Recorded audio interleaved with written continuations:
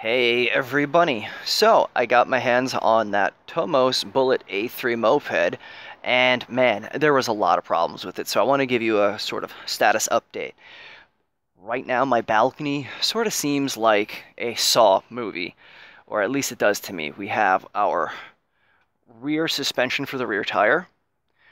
This is our front fender, let me try to sneak around her. Holy, okay, we don't want to step on that guy there. That's one of our, that's our chain guard. We have yet to paint the uh, front fork supports, but here's our main body of the Tomos A3. So, all right, let me tell you a couple of things that went wrong with it. First off, they basically just kicked whatever carburetor that fit. So I thought the carburetor that I bought was the correct one. I'm going to have to do some modifications to the left side in order for the carburetor to fit.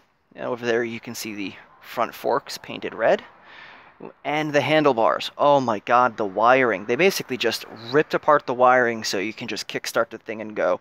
No lights, no nothing. So gonna need a second coat of paint.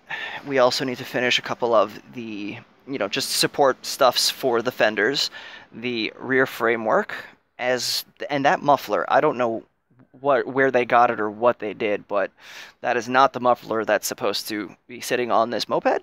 And that horrible yellow orange thing, yeah, that's the seat. I don't know what I'm going to do about that yet. So those guys are just sitting there and waiting their judgment day until we get a second coat of paint on the main body, which is looking okay. I can see that it's not coming out 100% awesome, but from that horrible, horrible shade of, uh, you know, lead red bleached to orange.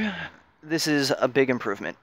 The biggest problem while I'm working on the balcony is, well, though I have the engine right here, when I'm taking everything apart and actually doing, like, I'm, I live on the second floor, so that's basically my working space right there between those two parked cars and it's not exactly the easiest working environment. So it's been uh, it's been an adventure. Uh, I've grown up fixing bikes and mopeds and small two-stroke engine kind of stuffs.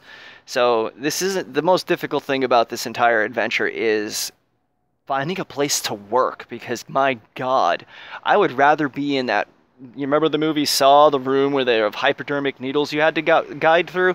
That's basically what this is, okay? This is pretty much just like elbow to elbow in, in distance here. There's not a lot of working space, so we basically just went to the far back, started painting components, and then just tied them up and then came forward, and now we're just gonna let them dry, wait eight, maybe 12 hours, give it a second coat, which will probably be about 2 o'clock in the morning, hence I set up the LED lighting.